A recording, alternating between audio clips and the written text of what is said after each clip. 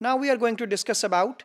types of sign, signages. एक store में there are different types of signages which are available तो कौन कौन सी उसकी टाइप्स हैं? उन टाइप्स के क्या ऑब्जेक्टिव्स हैं? क्या एग्जाम्पल्स हैं? Let me discuss with you one by one सबसे पहले हमारे पास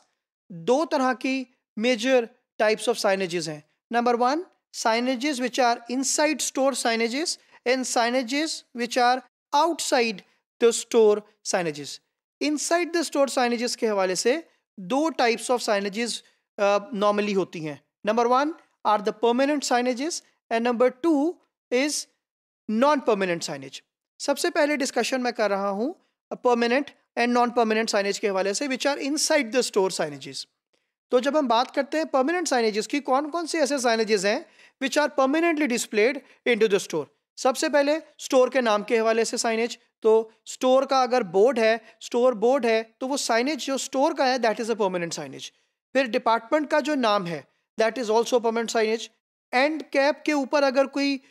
डिस्प्ले है साइनेज है that is also a permanent signage main merchandising group that is also permanent signage in to the store for example अगर हम grocery के अंदर which was a department के अंदर अगर हम ऑयल एंड घी कैटेगरी की बात करेंगे so that would be main merchandise group तो इस तरह का ग्रुप जो है, वो परमानेंट साइनेज को फॉलो किया जाता है स्टोर के अंदर। नॉन परमानेंट साइनेज के अंदर जो साइनेज है that is about the article तो आर्टिकल के हवाले से प्रोडक्ट के हवाले से एस के यू के हवाले से जो भी साइनेज होता है that is normally non permanent वो दे कीप ऑन चेंजिंग अभी प्रमोशन अगर डालडा के ऊपर है then promotion can be on Sufi cooking oil then promotion can be on Meezan then promotion can be on any other brand तो non permanent signage जो है that is normally for articles फिर हम बात करते हैं आउटसाइड द स्टोर की। Outside the store signages जो हैं they are almost they are permanent signage all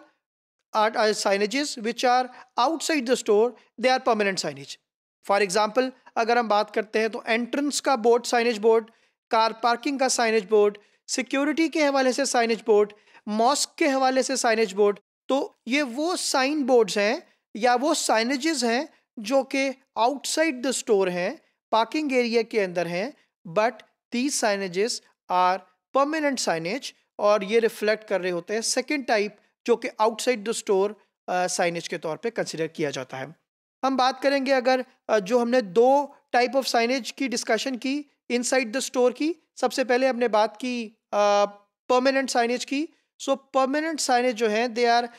they have normally store related information जिस तरीके से हमने कहा कि store information about the store itself information about the department, information about the product category, information about the main merchandise group. तो ये जो store related information है ये परमानेंट साइनेज के टाइप के अंदर आता है और अगर हम नॉन परमानेंट साइनेज की बात करेंगे तो ये प्रोडक्ट रिलेटेड इन्फॉर्मेशन होगा। अगर इसको ब्रीफली एनालाइज कर लें तो store related information permanent signage के अंदर आती है और जो प्रोडक्ट रिलेटेड या आर्टिकल रिलेटेड इन्फॉर्मेशन है, वो नॉन परमानेंट साइनेज के अंदर कंसिडर की जाती है।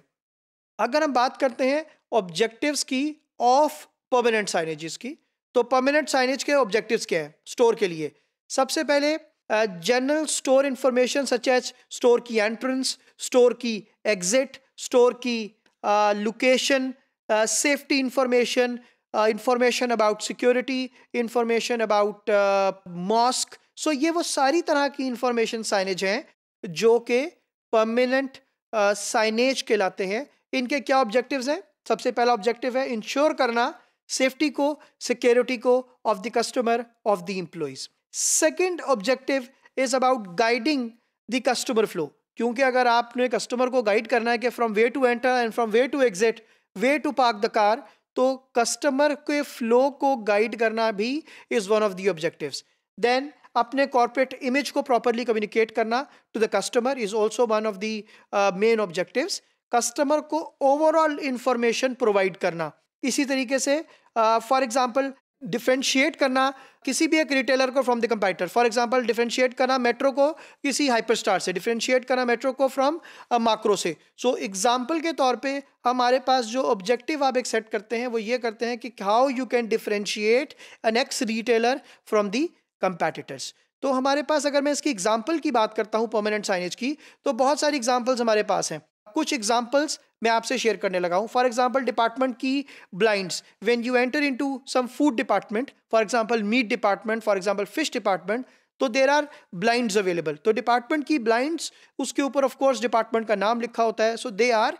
example of permanent signage इसी तरीके से डिपार्टमेंट के साइनेज एंड उनके जो ब्लैक बोर्ड्स हैं। फॉर एग्ज़ाम्पल अगर हम देखते हैं फ्रूट्स एंड वेजिटेबल डिपार्टमेंट के अंदर जहाँ पे प्राइसेस जो हैं वो फ्रूट्स की और वेजिटेबल्स की डेली चेंज हो रही हैं। सो so, जो साइनेज बोर्ड्स वहाँ लगे हुए हैं which are normally the black boards और द वाइट बोर्ड्स ये वो बोर्ड्स हैं कि जो कि परमानेंट साइनेज के तौर पर यूज़ हो रहे हैं। फिर information concerning department teams